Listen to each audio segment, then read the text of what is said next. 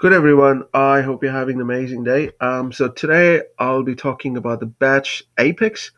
Uh, it's a pretty interesting topic though, uh, because you know if you wanted to say run uh, thousands of millions of records, right? If you wanted to, so in other words, if you wanted to process a large set of data, and you can process in an asynchronous way, and when you have to um, do such kind of uh, operation, it's better to go with the batch apex approach, right? So that's the the topic for today. Um, so what I've done, right? I have actually written um, a code a long time ago, um, you know, explaining how to write a batch class. So I've done this as a part of an integration series, uh, which is a pretty amazing series I've done uh, based on the feedback I, I got from people. Um, so I put the, the link in the description below. So I would highly encourage you to, to watch this because I talked about how to consume an API, how to write a JSON parser, uh, then how to do this in a batch, and then how to schedule a batch, right? So you pretty much uh, get to learn, you know, API consumption, uh, JSON parser, uh, you know, how to run a batch, and explaining um, what each stuff means, right? So I'm just gotta walk you through it a bit just to give you a context, right? So, like I said, right, in batch, if you wanted to process uh, thousands of millions of records in an asynchronous way, then you're to go for a batch op- option, right? Um, now, in batch, right, remember one thing every transaction, right, that starts with a new set of governor limits, uh, that means it's it's going to make it easier to ensure that your code stays within the governor execution limit, right?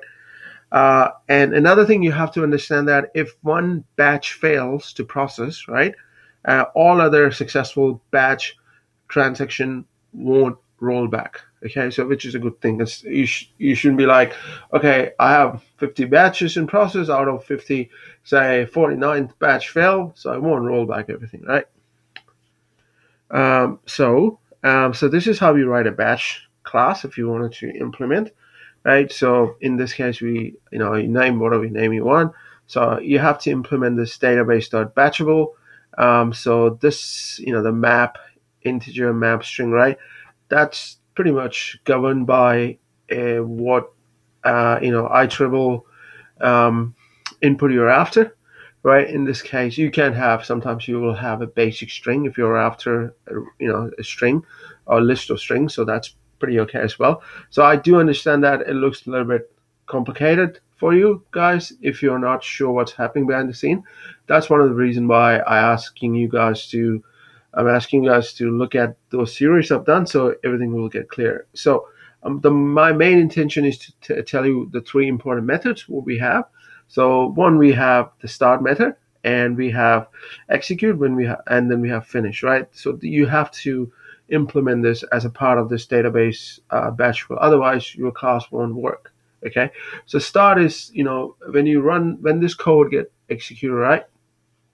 The start part of the code get executed first. That's where you're building a list, and that list will be used in the execute context. So, for instance, if you want to do a uh, do an operation on a on an account object, right? So let's say you wanted to uh, change the status of, say, um, an account uh, to inactive, uh, which was created, say, you know, uh, last year. Okay, so what are you going to do? So in iterable start method, you're going to get the list of accounts. You know, you can say which just has a create date, you know, less than one year or something. You know, so you know, just create date.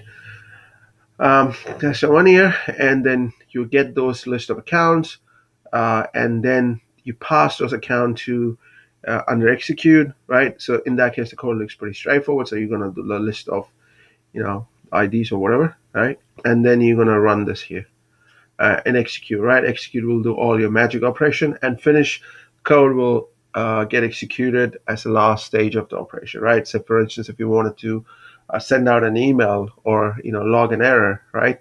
So you can do that, but for that, you remember one thing um, you have to use a state concept, right? Because usually batch apex is typically stateless. Okay, keep that into consideration.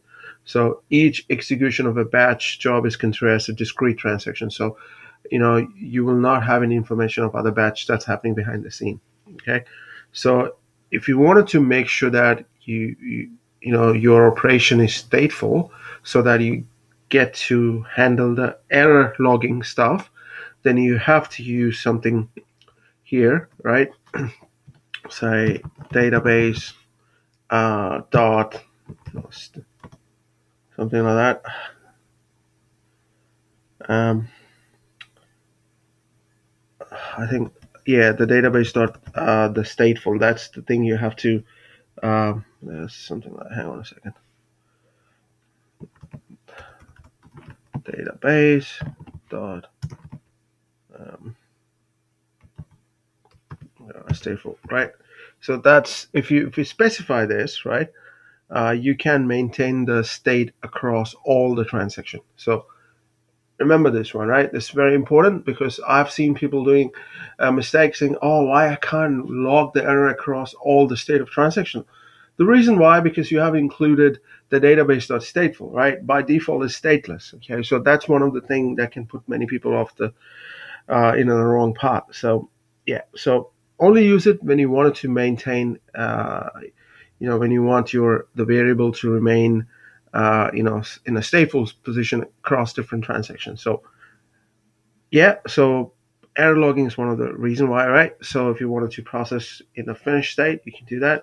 Or if you wanted to send out um, an email after each transaction, you can do that. So in this case, I haven't added much, so but that's all good. Um, so um, so the like like I said, right? This this code is pretty straightforward. You don't have to do much. So a few things um, uh, you have to remember, right? This is my personal advice and opinion. Uh, you should not write your business logic inside the batch class, right? I've seen people doing that, which is a very bad practice, right? As you can see, uh, I'm dealing with the product stuff here, but I don't have any product related code inside uh, this batch. You write a separate helper class or separate controller class, whatever you call it, right?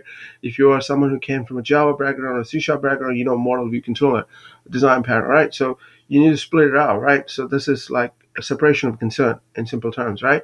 So you need to follow that design principle whenever you're working, um, you know, for instance, in this case, the batch more batch operation. So you should not be writing your business logic inside this batch. Whenever I see a code like that, I often reject the code review straight away because you know you can't test it easily right? It's good to have a modular approach thinking right? So that you know if you wanted to reuse it right? So for instance if you wanted to um, product controller get product info from api if i wanted to use this method somewhere else i can use it now right? Otherwise if i if i if if i'm planning to um, uh, make this code a spaghetti code, right, by putting all this logic inside this class, then it gets very difficult for me to test it and reuse it, right? It's you should always reuse it, okay? And yeah, so and one other thing you need to understand that you need to minimize the number of asynchronous requests created to minimize the chance of delays, okay? So that's one of the um, thing, and also you have to pay very special attention if you're planning to you know, invoke a batch job from a trigger, right?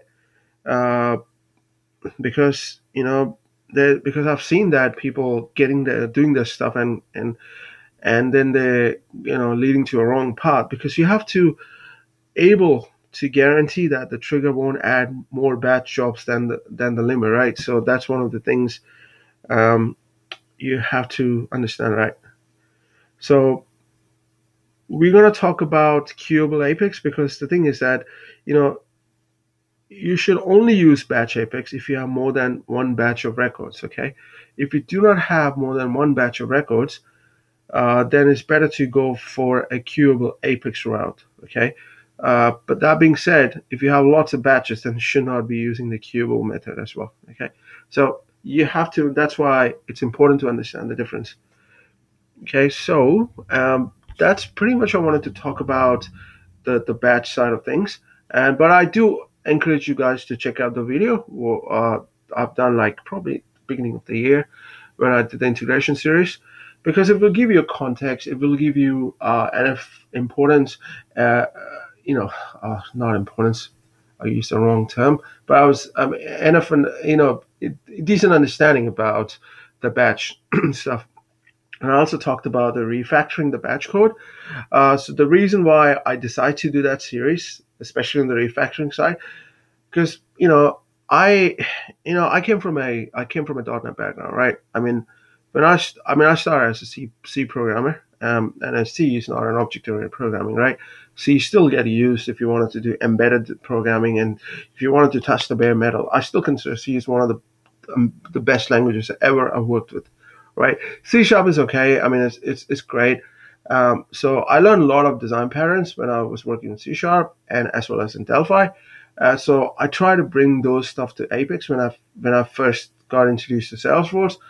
And when I looked at existing Apex code, I just scratched my head. I said, "Who can write this kind of code, right?" Because the you know the problem I've seen, the quality of resources in Salesforce is not great. I mean, no offense, but you know the kind of codes get written, it's just a garbage, right? I mean, you should compare a .NET code written by a 10 year guy experience and, the, and an Apex code written by a 10 year uh, guy. There's a massive difference in the structure and the design patterns you use, right? So that's one of my reasons why I wanted to improve the, you know, uh, the structures in the, in the Apex side of things as well as in the LWC side. LWC side, let's not even get into that because I, I mean, people shouldn't be making mistakes in LWC because it's a JavaScript code, right? And JavaScript been around for years, right? Years. There are, there are amazing design patterns around JavaScript. And I've seen the code written all over the place. It's just, just a spaghetti garbage, in other words. That's the terminology I use it. And I, I don't mean an offense. And I'm not ashamed to use that term as well because, you know, when it's something is wrong, you got to point it out, right? Because otherwise you're going to cost company more money in the long run, right? So, which is unfair in my opinion. So, yeah, so, so yeah, that's pretty much I wanted to talk about batch. Sorry for the rant, but, you know, but I thought it's important for you guys to understand. Cool. So that's the the batch side of things, and I hope you enjoyed the series. Um, so yeah, I hope you guys have a amazing Saturday, or you know Saturday morning if you're in Europe, or Friday if you're probably in Cook Island the United States. So that being said, have a great day. Adios.